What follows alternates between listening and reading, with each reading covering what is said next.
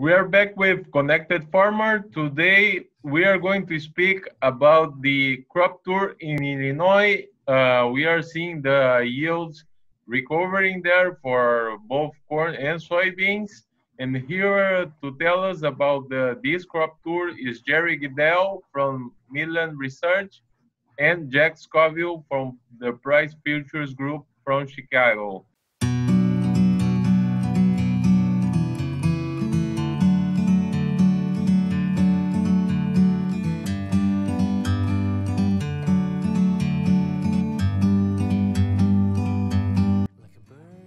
First, we are going to start with Jerry. Jerry, what have you seen there on those crops? Well, it turns out that uh, because of the uh, issues we've had with the our COVID uh, uh, issues in the U.S., Jack and I decided to split it up, and we would we've been basically down going down two corridors of uh, interstates in Illinois. You have to get outside of Chicago, of course. You sure don't see much corn in the uh, unless you get south, south of I 80. And so I started and uh, went down through 55 that goes down to St. Louis. And Jack went down uh, the route that takes you down towards Memphis on the east side of the state. So uh, my first county turned out to be uh, Grundy County, uh, which is south of Morris, Illinois.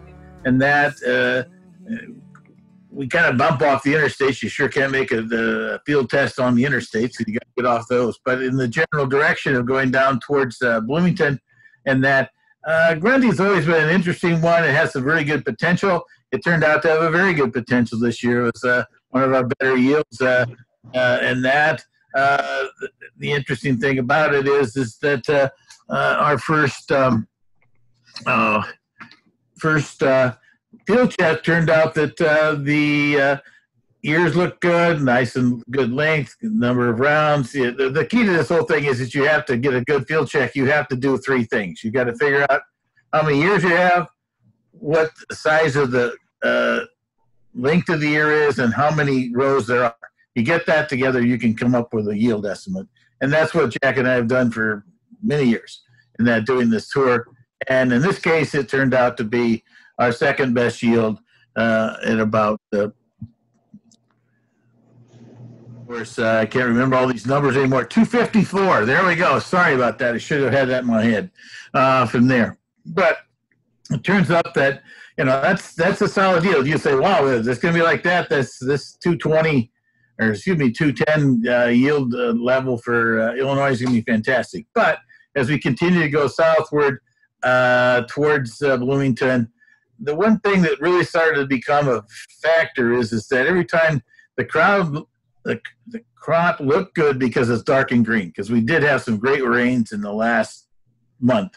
It wasn't very good uh, in June, but it was great and too too heavy in May. And now all of a sudden we had uh, things brightening up. But when you walked inside of it, we didn't find the number of ears that we even found last year when we did the same tour. Now, last year we had a hard time finding the good field because there was so many black dirt out there because of prevent plantings and the excessive moisture that we had from April, May, and into June. In this case, it, it was only during May uh, and disrupted things. It didn't end up screwing up things badly. Anyway, that all being said, that the yields are highly important as how many years you have. In our case, it looked uh, that we came through, and now the, the next two or three yields checks that I had, uh, we did uh, 195, 200 uh, type of note. Those are good yields, no doubt about it. But they're probably not. Oh wow, the state of Illinois yields are going to be 210, 215, something like that. Uh, and actually, probably one of the more interesting ones. The the stop was south of Bloomington on I, excuse me, Illinois uh, 51 is a major road that goes between uh, Bloomington and Decatur, and that and uh, Jack and I have kind of stopped in that area many times, and this year's turned out to be only 196 bushels. Well, and the interesting twist about it was it continued to have this issue of uh, limited numbers of ears. Only had 27, 28,000 actual ears in an acre. And then the other twist of it is that we started to see, in my case, tip back from the top of the year, and that had been for some of the early uh, July heat, and that takes away the number of kernels on the ear, and you'll see that on uh, some of the photos that we might be uh, uh, sharing with you yet uh, today too for people to look at. So uh, that's an interesting situation. I think is really uh, an overall basis, at least. That's an interesting twist that you don't see from the road. You don't see the fact that maybe some of these plants got uh, derailed from you put it in the ground, but it doesn't mean they all come up out of the ground. And normally in Illinois, there are 30 to 32,000 population. So that's about the minimum they want. Once they sneak under 30,000 on the number of plants that are actually producing, they're feeling disappointed. And that's part of the reason why people decide to go ahead and do replants. The one big general des, uh, description, description I have to say on the soybeans is uh, because of the wet weather that happened during May, I think a lot of land prep took care of a lot of volunteer chlorine and weed problems along with herbicides. And again this year, wow, what clean fields we've got. You drive along, looks spectacular. It's a nice big green lawn uh, from there, but it's not as tall as, uh, as we thought it was going to be. So that's a factor that I think is yet to determine what bean yields might turn out to be unless we see what the August weather turns out. And ultimately, uh, there's a potential for something above the 50 bushel level nationwide. I guess I, I'm not sure I'd guarantee a huge number like 53 or 54 bushels. Jerry, what about the central parts of of Illinois? I heard that a lot of farmers had to replant there. I, I don't know if Jack wants to respond. Uh, well, in, in um, central Illinois, of course, we did see the, the smaller populations, and that was really the key uh, to the tour uh, and the reason why we found good crops but not fabulous crops. Uh, the, uh, the, other, the, the farmers uh, are looking forward to, to uh, harvesting some pretty good crops pretty soon. I feel like the I feel like um, nobody should be real disappointed in what they're getting out of this thing. Um, it's it's you know as I say, these crops are, are very good, good to very good. They're just not super great. They're just not record yields. So I think the farmers are going to be uh, are going to be happy with that. What they're going to be very unhappy with, of course, is the price, which uh, appears headed down to three dollars here pretty soon, and maybe below. And boy, we haven't talked about those types of prices in years, and I can't imagine that anybody's real happy about that. And Jack, uh, do, how do you assess those numbers compared uh, to what uh, came out from the USDA? Well, I think uh, I think USDA. I think everybody that's going out and taking a look at this thing from the road is is just you know looking at some very good conditions, and the, the conditions are very good right now. The crops are very very green, dark green. Um, and uh, seem to be, you know, the corn seems tall, or at least pretty tall, and the uh, beans look to be pretty good as well. In fact, very good. So I think that when you're looking at it from the road, or when you're doing a satellite survey and a farmer survey, which is what USDA is going to do for the August report, you're going to end up with some very high numbers uh, I think, uh, and potentially record breaking numbers. I think that once you get in there and do the counts and do the hard work of, you know, counting the bean, uh, counting the, the, corn, ears, counting the kernels, and uh, all that, that, that's when you find out that you really don't have quite the corn crop that you thought you had out there. But from the road, it looks fabulous. And I think everybody's, I think a lot of farmers haven't been out in their fields to check and they're just going to assign a very high number to this to this production estimate. Jerry, uh, could you see any disease from the road? No, disease issues, uh, particularly in soybeans, uh, look pretty minimal. It's gonna. That's always a, a tough one to judge, though. Most people judge the soybean plants by or soybean fields by how clean they are. so everything gives us a quick brush on it. Aphids, uh, I haven't heard and really saw too many insect issues on uh, soybeans. On the corn side, uh, with the kind of uh, interesting set of uh, weather we had, we had a wet, cool, wet uh, May that kind of slowed up this emergence issue. But from the point of view, then it dried out, and that, and so uh, we didn't uh, see some of the uh, uh, the um, uh, what do I want to say the smut problems, any of that type of thing happening with these ears and things like that we might have seen in the past from a disease issue from there. So no, I this is a in Illinois at least a pretty clean crop.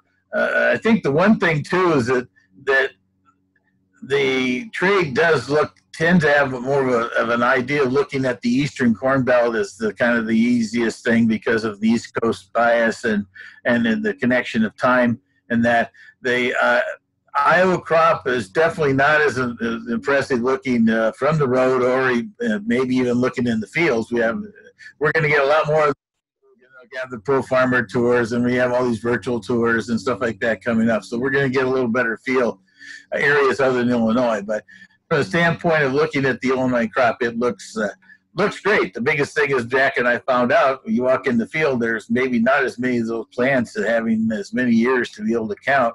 Now, you know, Jack also, uh, you know, he said, well, it hasn't too impressive, but uh, he also had, uh, he failed to mention that DeWitt County, which is one of our best counties all the time, it had a super yield of over 260. So there's some good yields in Illinois. We can't say they're not, but there's not as consistent a good yields as you think uh, everybody thinks it wants to be, considering the way they talk about how great this crop looks.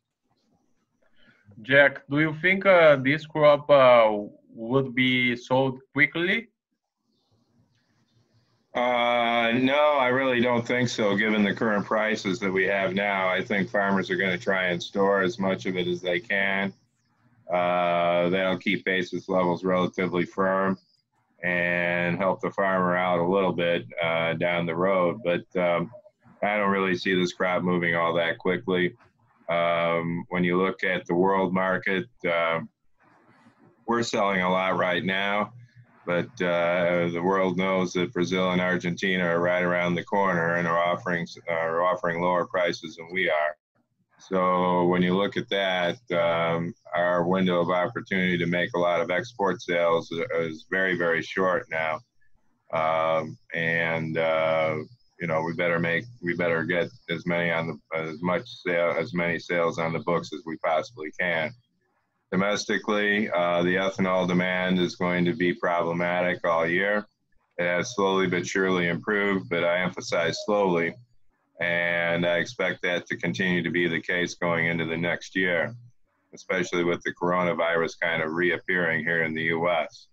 Uh, the feed demand uh, should improve. Uh, it's been fairly static for the last couple of quarters, and uh, that should get better. We we should have uh, better. Uh, we should have plenty of hogs and plenty of cattle out there, and that should be that should be something that we and poultry for that matter. And uh, with the uh, processors processing now, uh, the back the backlog of cattle and hogs and the need for maintenance rations will go away. Jerry, um, Jack just mentioned the coronavirus. Uh, do you think that uh, the virus could bring uh, any concern about the harvest time? Uh, I don't think there'll be uh, any uh, issues in harvesting this year's crop because of the, the coronavirus from the standpoint of maybe there might be a few little labor problems at times, but in general, the, the mechanization of the Midwest farmer out here is so huge and that is so advanced that uh, uh, they can still get a lot of stuff done. I don't think they'll end up having problems of, of getting it, take it away from the combine and getting it to the elevator or getting it to their beds. Uh, and, and then also in those cases, uh, they, that really farm-based level of uh, potential coronavirus is pretty minimal. The, the major impact of coronavirus is in the major cities, then it goes into the secondary cities. But you know, in, in most rural areas where the farmer's at, uh, unless he ends up, uh, you know, going to the big town and getting himself infected, most of the time he's he's if he keeps himself straight, he'll be fine, and there'll be the, the labor issues won't be that factor. Every once in a while, maybe from a standpoint of uh, applying something like fertilizer or something like that, where maybe some other people outside of the purely farmer community actually is putting on some of this stuff. That might be an issue, but that's not going to impact the harvest. Well, guys, it was a privilege to have you both here. Uh, I thank you for sharing a lot of uh, information. Is there something else would you guys want to add? I'm all right. I think we cover everything that of the trip and also a few other subjects, and I think that's uh, well. I think the key thing is Jack and I kind of discussed after we've uh, been back and forth in this is is that the one thing that we always find out is it's what's inside the field is so much different than sometimes you look on the outside, good and bad. You know. okay. Very, very much so. Thank you, Jack. Thank you, Jerry. Have a good day. All right. Have a good one. Thank you.